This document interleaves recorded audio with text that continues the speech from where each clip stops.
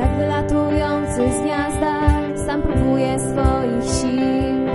Kiedy raz dopuści, nie zatrzyma go już nikt. Latanie dużo wyżej niż inni te